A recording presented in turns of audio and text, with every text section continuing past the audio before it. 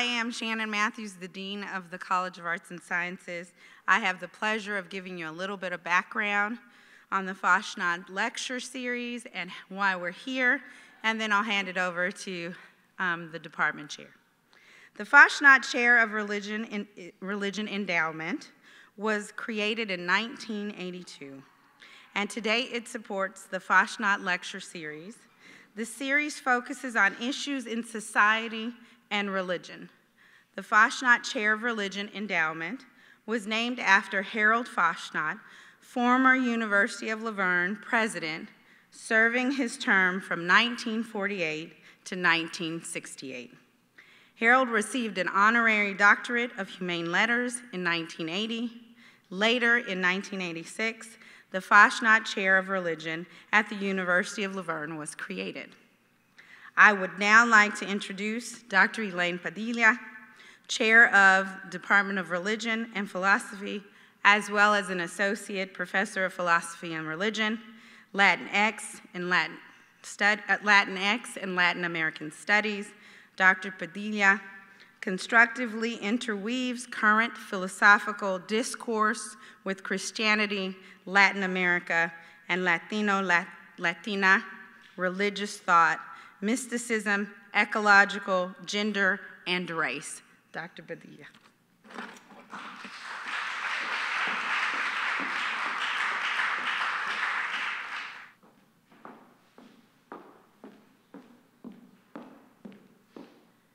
Good afternoon. Before I introduce Dr. Catherine Keller, our speaker for today, I would like to invite you to take notes and write down your questions throughout the lecture once the lecture concludes, Dr. Jonathan Reed will be facilitating a Q&A session. Dr. Reed is a professor of religion at the Department of Religion and Philosophy and recently has been examining the study of Native American religions with a particular focus on the Lakota ghost dance.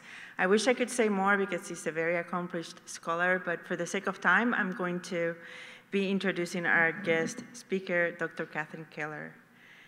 Dr. Keller practices theology as a relation between ancient hints of ultimacy and current matters of urgency. As the George T. Cobb Professor of Constructive Theology in the Theological School and Graduate Division of Religion of Drew University, she teaches courses in process, political, and ecological theology. Within and beyond Christian conversation, she has all along mobilized the transdisciplinary potential of feminist, philosophical, and pluralist intersections with religion. Dr. Keller's book, books, several, reconfigure ancient symbols of divinity for the sake of a planetary conviviality, a life together across vast webs of difference. Thriving in the interplay of ecological and gender politics, of process cosmology, post-structuralist philosophy, and religious pluralism, her work is both deconstructive and constructive in strategy. She's currently finishing, uh, actually, she already uh, published uh, Face, Facing the Apocalypse, which is her latest um, book. She has also, also authored Political Theology of the Earth, Intercarn Intercarnations uh, on the Possibility of Theology, and Cloud of the Impossible, Negative Theology and Planetary Entanglement, among others. Since the start of the millennium, she has served as executive director of the annual Drew University Trans Transdisciplinary Theological Colloquium. These events have yielded 12 anthologies, mostly published by Fordham University Press. Please join me in welcoming Dr. Catherine Keller.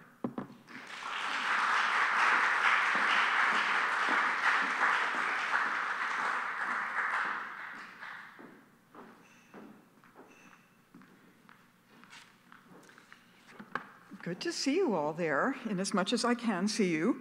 But um, I do see you well enough uh, to say that I am very honored to be here for this Fastnacht lecture and actually to learn why it's called the Fastnacht lecture. I was a little confused because Fastnacht in German is Mardi Gras.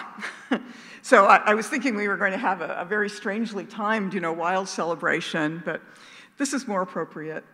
And uh, very uh, proud, of course, that uh, Elaine Padilla teaches here and is now a, a leader uh, for her program. Uh, we've worked for a very long time together, and I'm so grateful for that. So, Earth matters, generation, motivation, eco civilization. What's all that? Well, two planets meet. The first one asks, How are you? Not feeling so well, the second answered, I've got the Homo sapiens. Don't worry, the other replied. I had the same. That won't last. Hmm.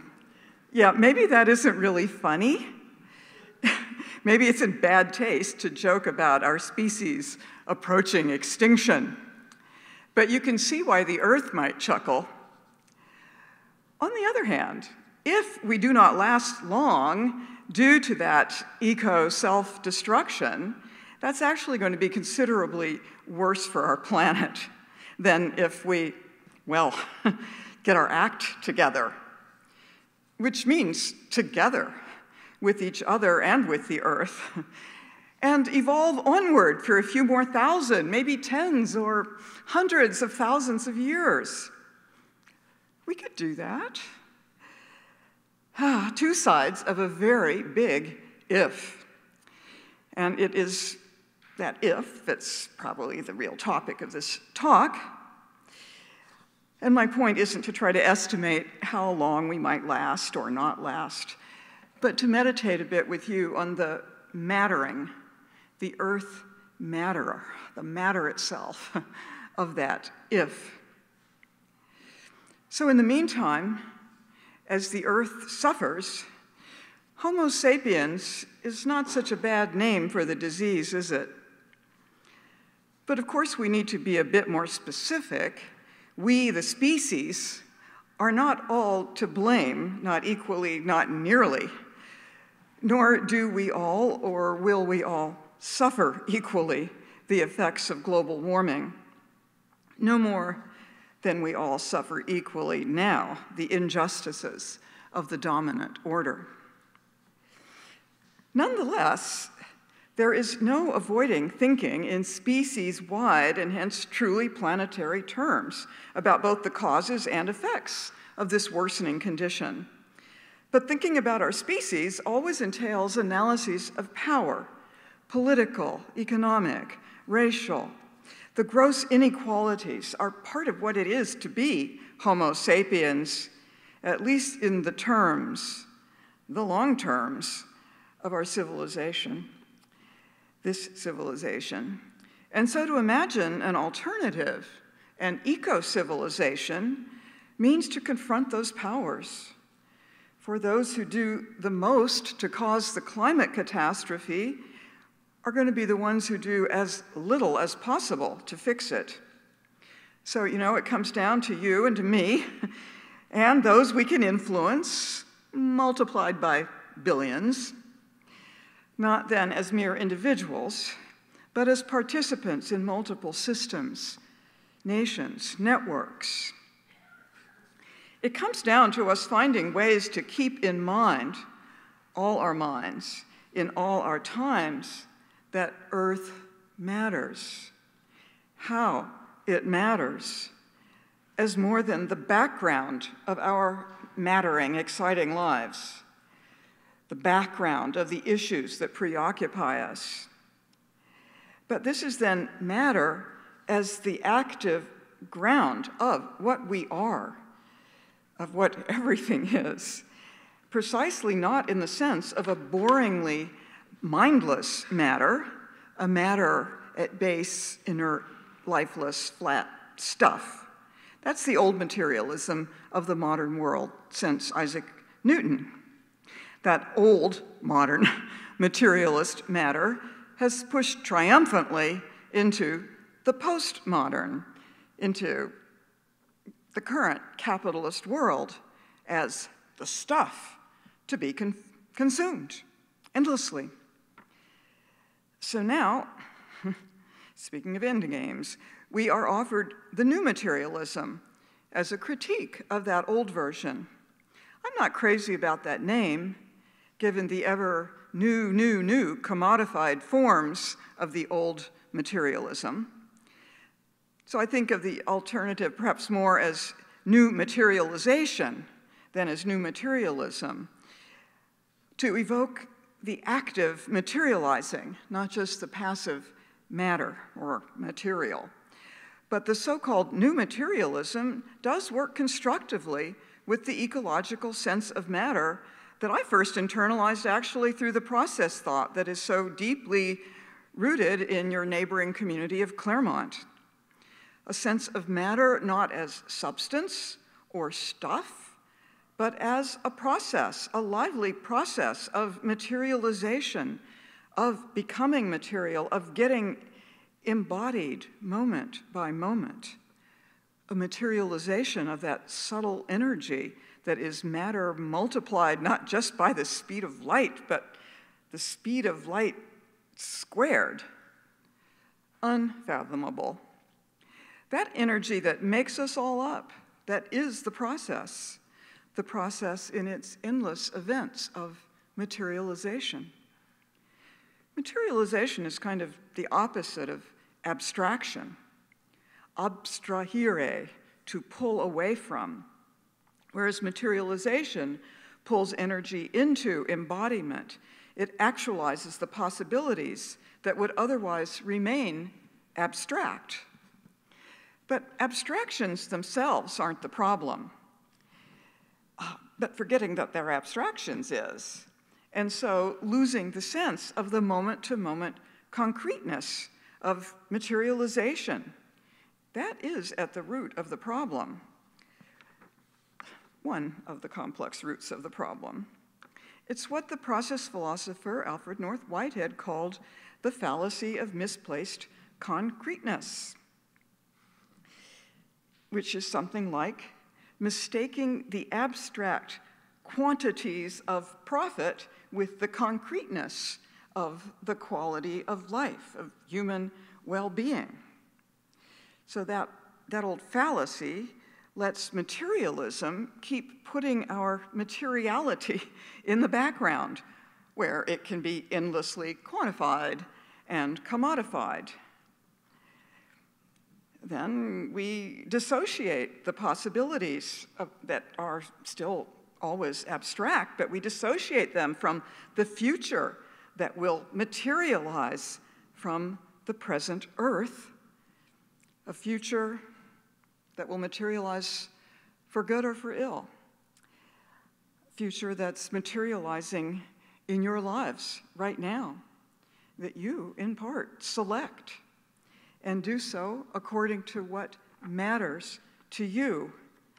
Matters in the sense of having value, even what might count for you as ultimate value, since this is a lectureship connected to religion.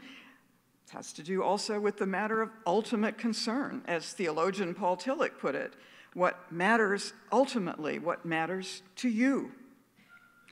Call it rightness, spirit, truth, God, goodness, justice, love, the shared life of the earth. It doesn't all come down to a name. That is this mattering, what you make matter for the future of your planet. A planet made of this matter that matters, of which we are each and all materializations right now and now, and now. So I want to meditate with you today on how that earth matters in terms of generation, motivation, and eco civilization. So, first, when I talk about your materializing future, I want to pause and take, uh, take into account the significant generational differences here. Some of you, many of you, are students, very young from my perspective. For you, the future of climate change is no abstraction at all, it is your future. You will likely find out in very personal ways if we reach, as the International Energy Agency says, we must net zero carbon emissions by 2050 in order that we are able to stay within the average 1.5 degrees centigrade of warming, the global average warm up since pre industrial times. The, the limit to a degree and a half that, according to the international consensus, may, may prevent the extreme and irreversible climate effects that would certainly kick in with two degrees centigrade of the global warming annually. Where are we now? well, it's not a memorable number, it's 1.15 degrees centigrade. In May, the World Meteorological Organization issued a report that projected a significant likelihood, 66%, that the world would exceed the 1.5 degrees Celsius threshold in the next four years.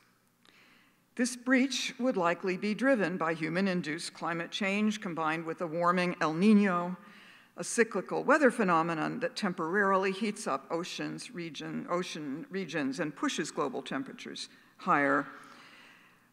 But this threshold does not actually, even then, need to become permanent. It permanent. It doesn't need to become permanent.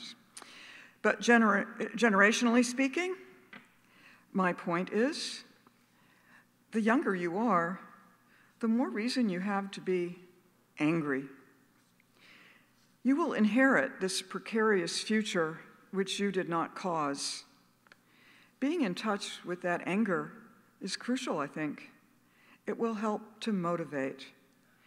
Anger does not need to get stuck in blame or to burst out in counterproductive ways, but it helps to hold responsible, able to respond those who are older and with more power. And getting in touch with your anger helps to cut through all the excuses. So, in its responsible forms, anger will help with transgenerational solidarity. And then the generational differences can become generative. That word has deep religious resonances.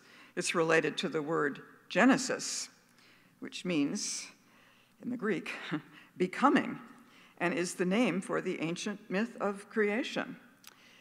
A story that reminds us of the sacredness of the universe and of the earth. The earth and all the earthlings are not cosmic accidents in this story. They materialize out of an ultimate mattering. And Genesis also tells a story of the greed, the arrogance that gets going so very early in our species. And now that comes to a head in the threat against the very earth and all the other earthlings, in addition to us. Genesis itself, the becoming of our world, is at stake. Not the universe or the multiverse. That's all going on with or without us. But of our precious, mattering bit of it. In the next generation, the Earth habitat will continue to degenerate or it will be regenerated. And not, I say as a theologian, by a God stepping in at the last minute to save us from ourselves. That is a destructive mythology. Rather, regeneration would come by our collaboration with what matters and with what matters ultimately.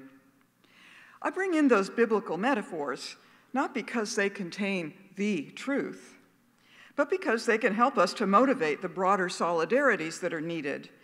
They can help us work on those shaped by those metaphors and misshaped, as so much Christianity is, by tragic misreadings of those texts. Misshaped. Christianity has been a major source of our Christianity's, excuse me, it's redundant, of our civilization's denigration and exploitation of matter, even of the material bodies of other humans, those considered not to be quite fully human because of religion or class or race or gender or sexuality. A certain kind of otherworldly Christianity which thinks of itself as anti materialistic, of course, quietly is in league with the old materialism. It undergirds our species' abstractions and extractions from matter itself. It demotivates care for the earth in the interest of higher things. And yet, there are deep traditions of Christian ecology as well rather nicely represented even in this room right now. They draw both on the ancient traditions, particularly in their social critical prophetic forms, and on cutting edge science. The theologian, John B. Cobb Jr., already wrote a book called Is It Too Late in 1971. Speaking of different generations. Uh, and I probably shouldn't mention that he's in the room. It was the first book by a single author on the ethics and theology of the looming ecological crisis, and he recently updated the book for its 50th anniversary. Is It Too Late was ahead of most ecological work in any discipline at all. And his answer to the question wasn't a simple yes or no, uh, then, nor is it now. And this version of faith, sometimes called process theology, is more helpful than straight atheism, a lot of us find, for countering anti ecological Christianity and for drawing more of the huge global Christian population toward earth solidarity. And by the way, by a lovely coincidence, I so recently learned that uh, John Gingrich, a former dean at La Verne, uh, was deeply involved in the Claremont uh, community of process thinkers and theologians. And uh, I hear you can contribute to the Gingrich Memorial Fund. Just uh, Google the Cobb Institute. It was process theology that drew me into doctoral work in Claremont uh, generations ago. And it was the critique of the standard paternal God that actually hooked me. The process deity takes the place of the old father God and his supposed omnipotence. Process theology sees that God cannot be at one and the same time all controlling and all good, or things just would not be in the mess they're in. Process theology offers strong alternatives to God seen as the puppeteer who controls everything, or God seen as the patriarch who rewards and punishes.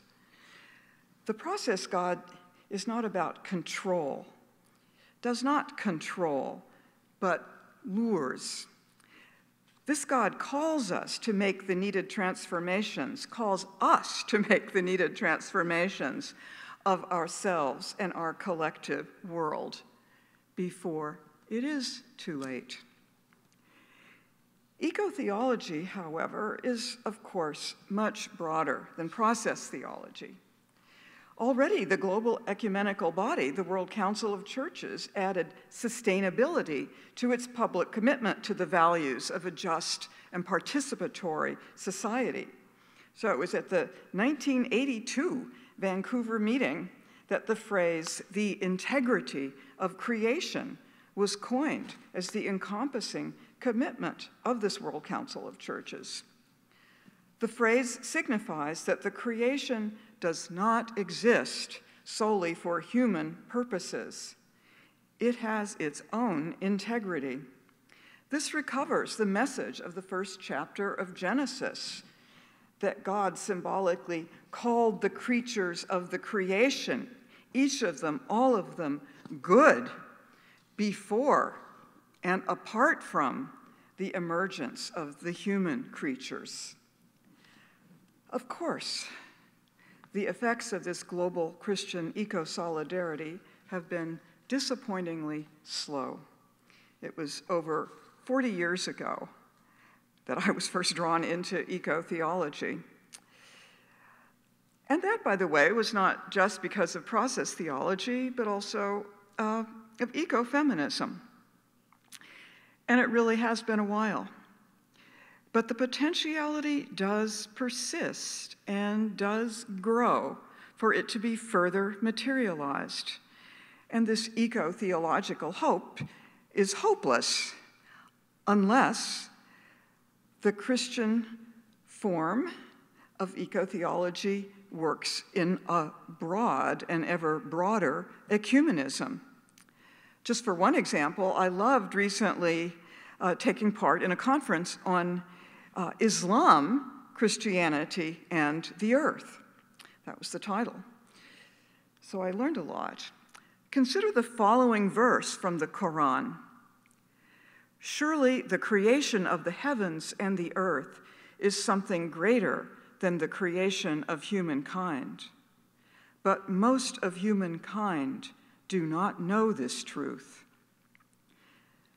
So I don't know of any sacred text of Christianity that so directly and pointedly names the whole cosmic context as both greater than the human and for the most part unrecognized as such by the human. Muslim environmentalists, such as in this case Ibrahim Ozdemir, also stress the following remarkable passage from the Quran Don't you see that it is God whose praises all beings in the heavens and earth do celebrate, and the birds with wings outspread each one knows its own mode of prayer and praise, and God knows well all that they do. So, Mohammed, an early eco prophet. Our Earth home needs the ecumenical collaboration of all the global religions or ways. Note that the ecu of ecumenical is from the same Greek word as the eco of ecology, the word oikos, meaning home. And the resources are here in our home. For instance, Harvard, there's a whole Harvard series of volumes edited by Mary Evelyn Tucker and John Grim on ecology and religion. And oh, I'll list some of the volumes Christianity and Ecology, Islam and Ecology, Buddhism and Ecology, Confucianism and Ecology, Hinduism and ecology, Taoism and ecology, Jainism and ecology, indigenous traditions and ecology. And these are each hefty volumes. You don't have to be religious at all to appreciate the motivating force, the matter, the mattering of such eco ecumenics. And I have to confess, I am ever inspired for decades by John Cobb's sense that Christ was calling him, it was Christ calling him to become a Buddhist Christian. To empty out of Christianity its all too frequent spiritual egotism, its fixation on personal salvation, its belief that Christ names the only way, and to overcome uh, its indifference to the material health of the of the of the earth. This call comes. Then eco-theology can generate cooperation between religions and beyond religions with concerned secular publics for the sake of our shared material future. So, no matter what religion or irreligion you espouse, a change motivating spiritual solidarity can materialize across manifold traditions and generations. It does not mean suppressing your anger, disappointment, and doubt vis a vis particular religions, perhaps the one you had too much early experience of. Participating in a broad and growing eco spirituality requires honesty with yourself and about your feelings, your affects, which is why I brought up the rectitude of anger on the part of younger generations. And fear is another difficult eco emotion we need to not repress. Repressing fear and anger, or even despair, just gets us trapped in them. Emotions are not about getting stuck in one feeling. Think of the word emotion. It's about being moved, not being stuck, not trapped, not reflecting the ancient unmoved mover, Aristotle's and then Aquinas' notion of God, not moved by human experiences, for instance. So, not, uh, so then it is good that process theology envisions instead a most moved mover. Our emotions move us, they motivate action, they can energize new practices, perhaps in the image of that most moved mover, and so move us beyond despair. And it isn't just anger and fear that work to move us, but also joy.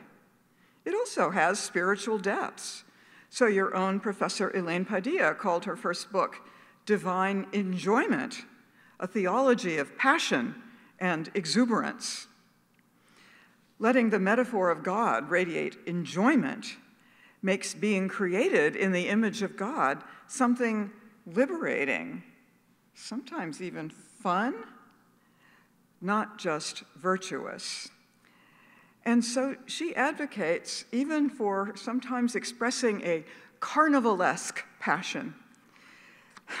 Speaking of Mardi Gras and Fastnacht, these affects can help forge more energetic communities of social action on behalf of human justice and of Earth's healing. Affects of exuberance are not superficial distractions, but energizing connections of each of us to each other. And not just ethical, but erotic connections. And then Elaine Padilla writes beauty becomes intrinsic to the ethical impulse rather than superfluous, supplementary, subsequent, or lesser than it. When attraction to the beautiful including the beauty of non human nature, like those multiple gorgeous peaks that frame your campus, then, then that attraction works not for greedy evil and possessiveness, but for the good. And then there is truly some reason for hope. Which brings us to the feeling most at stake, most jeopardized, and most important for our species' future the motivation of motivations hope. Some of you, indeed some of my students, quietly dismiss hope for our Earth future. They think it's just too late. Hope is unrealistic, a delusion. If we're talking hope for a future that is not just collectively survivable, but somehow beautiful. Too late? Well, they might be right. We do not know. We do know that there is a significant possibility we will not just surpass that 1.5 centigrade threshold, but going up from there catastrophically, a real chance. A possibility, however, not a certainty. The point is that unless we know that ecological healing is impossible, that all our efforts are now too little, too late, then we really do not know. That uncertainty, that uncertainty is actually grounds for hope. But it is not any reason for optimism. And that is where I suggest we all routinely make a clear and strong distinction. Hope is not the same as optimism. Optimism is the opposite of pessimism. Hope, however, casts its own shadow of pessimism. Hope does not stifle its own doubts. Hope is not optimism. Optimism is an assurance that things will turn out just fine. Optimism is the driving spirit of capitalist progress thinking. Commodify more of the earth, make greater profits, create better technology, it'll get greener, it'll fix everything, guaranteed. Hope, very differently than that progress optimism, stays tuned to its own shadows. It knows that it doesn't have certainty. It knows it doesn't know for sure where things are going. And theologically, hope does not depend on God to step in at the last minute and fix everything, or on a God who doesn't give a damn about the material world anyway, but guarantees salvation in heaven to unquestioning believers. So I'm talking a hope, a deeply biblical hope, that is not a simple belief in miraculous interventions, divine or technological. The spirit of hope keeps luring us to actualize more humanly just and earth healing possibilities. Hope. What is that? It's the embrace of possibility. The embrace of possibility that matters. But hope needs mattering possibilities to embrace potentialities already in part materialized, and therefore serving as motivations for greater materialization. So, another such example, when I read very recently in The Guardian that the prospects of the world staying within the 1.5 degree centigrade limit on global heating have brightened, according to a big recent study, owing to the, quote, staggering growth of renewable energy and green investment in the past two years, I did feel the brightening. Fatih Birol, executive director of the International Energy Agency, the world's foremost energy economist, said much more needed to be done, but that the rapid uptake of solar power and electric vehicles is encouraging.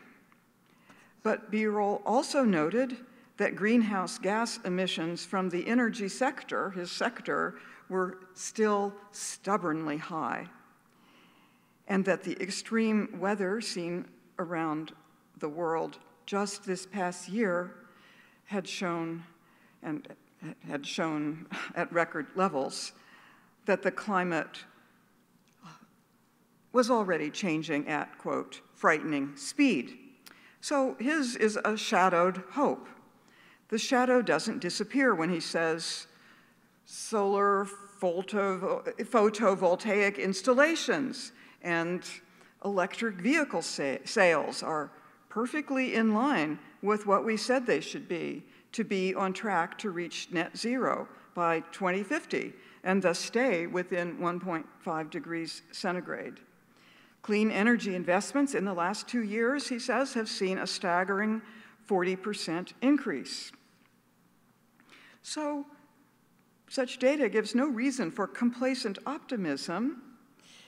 Nonetheless, even if it alleviates our pessimism, it doesn't change the fact that the surface ocean temperatures off the coast of Florida reached 110 this summer, hotter than a hot tub, and so forth.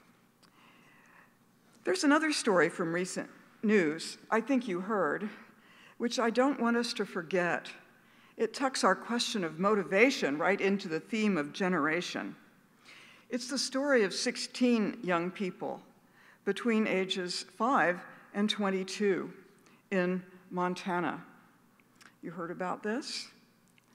The ones who filed a lawsuit against state officials claiming that the state was not doing enough to protect them from climate change. And those young ones won the case.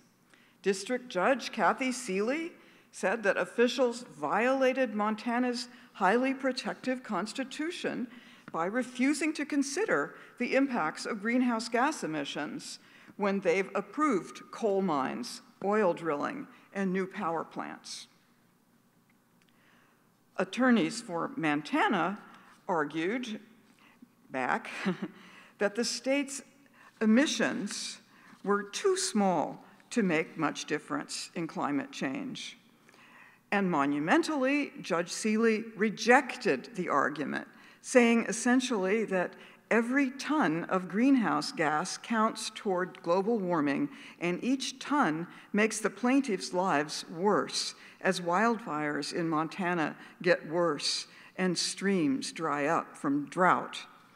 And the judge said very pointedly the state can do something about it deny permits for fossil fuel projects.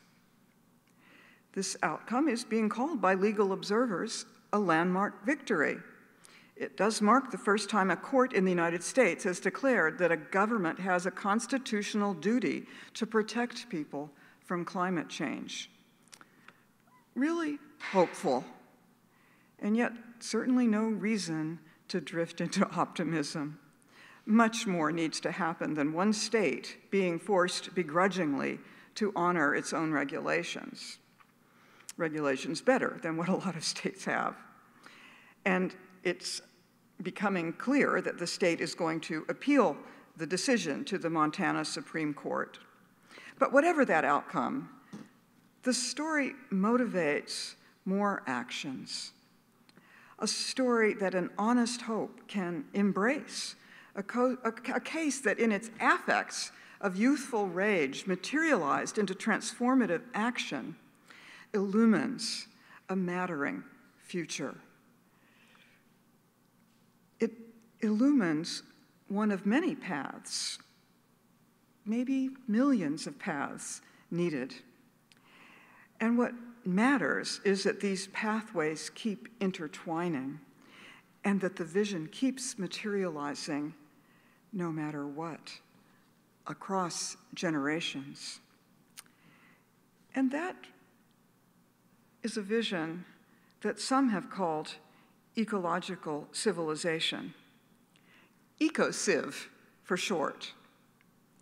A concept grounded in this vicinity, indeed, in the work of John Cobb, who has warned us that it is already too late for a smooth transition, an organic metamorphosis of our civilization into an ecological version of itself. Um, and as the little book by, very nice and readable and little, as the, this little book by process thinkers Philip Clayton and Andrew Schwartz called What is Eco Civilization uh, nails it. Our civilization, modern civilization, is based on the wrong paradigm the paradigm of control and exploitation that has caused and is causing the crisis. That is the paradigm that keeps matter abstracted from our awareness, keeps our awareness disembodied, floating, keeps us buying in, often just unconsciously, to those fallacies of misplaced concreteness running the global economy, keeping us numb, systemically indifferent to the matter of earth. So, if the basic paradigm of our civilization has to change, that does mean that we need a different civilization, radically different from this vast system of indifference. And that doesn't mean just a greener version of the present paradigm. Nothing guarantees that such a change will happen we might just go on through a near total collapse of civilization in this century, followed by a pathetic few years, maybe few centuries for the survivors. Or the collapse might be great enough to put us all on notice, but not so great as to make it too late. Too late for a new civilization. No matter what, there's going to be some degree of systemic collapse given the mounting fires, the ice melts, the floods, the droughts, the parts per million of carbon dioxide. And the, the collapse will be more apocalyptic the greater the resistance to it. Even so, apocalypse, that ancient word, means literally revelation, disclosure, not closure.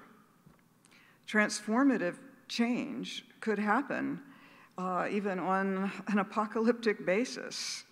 Eco civilization, like the ancient vision of the New Jerusalem, the new atmosphere and earth, an atmosphere or heaven and earth holding a radically different kind of urban civilization called New Jerusalem, could emerge, could emerge from the rubble. But with or without those old prophecies, we may hope, and so we may insist that the transition already underway be magnified, qualitatively intensified, making possible a much more tolerable transition to a livable future. This civilization could then conceivably morph into eco civilization without undergoing the worst sorts of collapse, of transitional violence and self destruction. We could conceivably then keep the best of this civilization, the responsible, eco congruent technologies, the protection and renewal of the other species, the honoring, the honoring of the organic life that we all share, the poetry, the arts, the wisdom traditions especially the ones that foster pluralism, the achievements of democratic egalitarianism and of social justice, even perhaps of institutions like or something like this one here, where these conversations can happen. There might be a trans apocalyptic hope for the University of La Verne. All of this, all of this would depend on what the French eco philosopher Bruno Latour calls facing Gaia. You know that word Gaia, an ancient uh, Greek earth goddess. Gaia appears now not as a divinity, but as the earth itself, beyond all our stale notions of nature Latour writes We are not stunned spectators witnessing the discovery of a new world to be at our disposal. We are rather witnessing the obligation to relearn completely the way we are going to have to inhabit the old world. We recognize ourselves then in this Anthropocene era as what he calls the earthbound. That's his transcription for uh, humanity. Eco civilization, then, we could say, would be the context of the earthbound, in as much as we bind ourselves to that earth boundedness, bind ourselves mindfully, then we find it doesn't diminish, but frames our relations, our organic relations to the rest of the cosmos to what was called the heavens. So being earthbound isn't cutting us off from the universe. And who knows, in the attempt to materialize ecological civilization, the energy of matter itself, freed from exploitation, as then becoming the energy freed from the exploitation used to power our anti ecological civilization, that freed up energy may come to our aid in new ways, as in energizing new affects of beauty and community and even hope. Affects with effects. And so, new motivations moving across generations that intensify our earthbound connectivity. So, EcoCiv isn't exactly a utopia, utopos, meaning no place, literally. We materialize it already, here and there, knowing these beginnings, however modest, have a chance of spreading, of materializing in ways we cannot predict. And we must regularly remind ourselves that we have a goal. And as the authors of What is Ecological Civilization write, however the goal is named, such a civilization can be built only by people who think first in terms of organisms and ecologies, rather than primarily in terms of machines and individuals. But even with some degree of that hopeful scenario, which I think is not impossible, if perhaps it is improbable, we don't avoid apocalypse. As I said, however, the ancient Greek apocalypsis does not mean shutdown or closure. It means disclosure. The history of the misreading of apocalypse as the end has served the ends of the white Christian right wing all too well. Yeah, if the end of the world is coming soon, what's the point of changing the world or worrying about the environment, right? But the ancient book of Revelation is quite different. It is a surreal set of visions warning in code of the collapse of the Roman Empire, the then form of civilization and the destruction it envisions to both humanity and the rest of the planet is nightmarish, but it is not total. And there arises at the end of that text of the apocalypse a great new earthbound urban civilization. Civis, to be sure, city, the new Jerusalem. Fundamentalists think that it is a supernatural new creation from nothing just coming down from heaven, supernaturally given. Biblical scholarship actually differs. The text is not offering literal predictions, but dreamlike visions. The new city comes down, we can say, in the sense of coming down from abstract possibility into on the ground materialization. And key, the human species will have learned its lesson our lesson. There is envisioned a world civilization of peace and cooperation between the powers. All the rulers of the world ride through the always open gates of the city, and a stream flows through the center of the city, the water of life, and on both sides grows the manifold tree of life.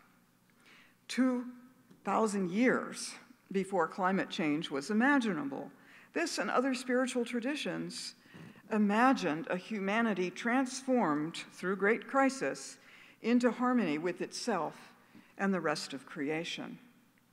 Only fundamentalists think this is some kind of guarantee, which then goes nicely hand in hand with secularist capitalist optimism. So oddly, the old metaphor of apocalypse can be a ground for hope centered then in that hope that arose in the ancient Jewish prophetic tradition, a hope shadowed by unthinkable losses. That sort of honest hope may motivate us even in our generations of struggle. And it is, I repeat over and over, not that a deity will step in and rescue us, but that we can, as a species, yet undergo enough transformation while there is still time enough.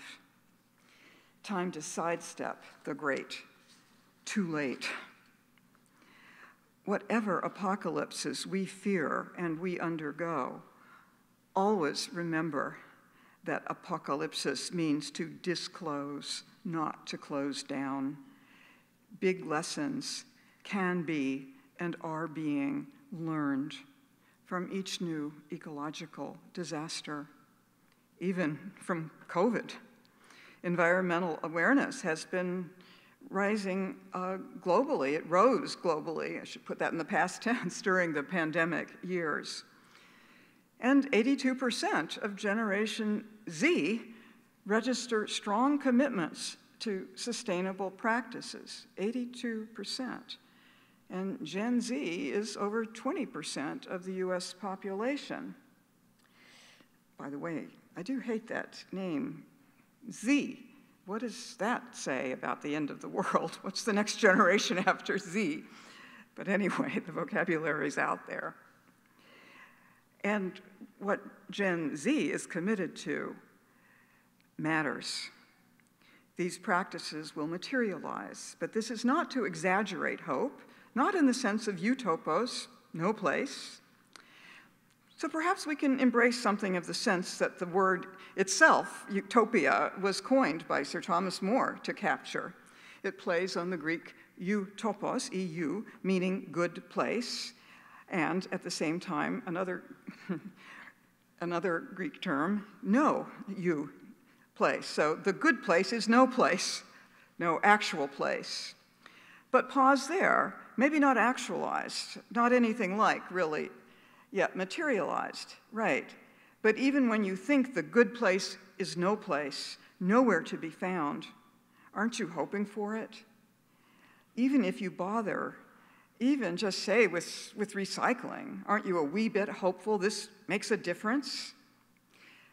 Not some stale, old, and failed hope, this, but in the context of the civil rights struggle, uh, James Baldwin had put hope in a time where hope was very hard to sustain for African Americans.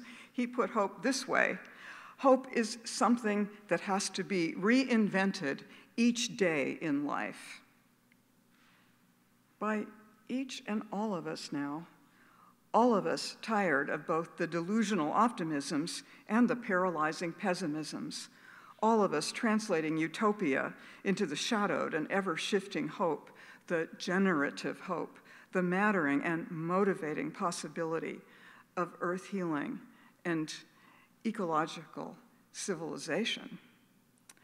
But in the meantime, the two planet cartoon of Earth's complaint does not reassure us. If Homo sapiens is a sickness the Earth needs to heal from, well, might the disease become our dis-ease, our acute discomfort with our status quo? Might we, the species, at last take our name seriously? Homo sapiens, sapiens as in sapiential, meaning wise? Couldn't we join generations and motivations and actually create eco civilization? Couldn't we wise up? That would be no joke. Thank you.